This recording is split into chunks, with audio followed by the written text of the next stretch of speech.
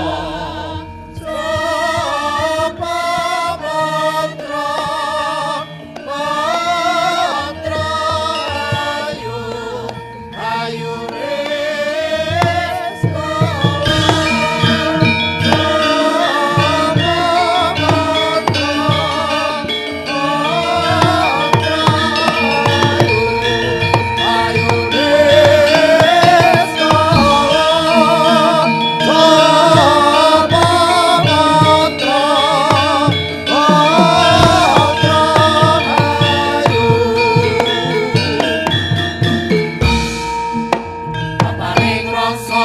ati sing kok kok ing rasa ya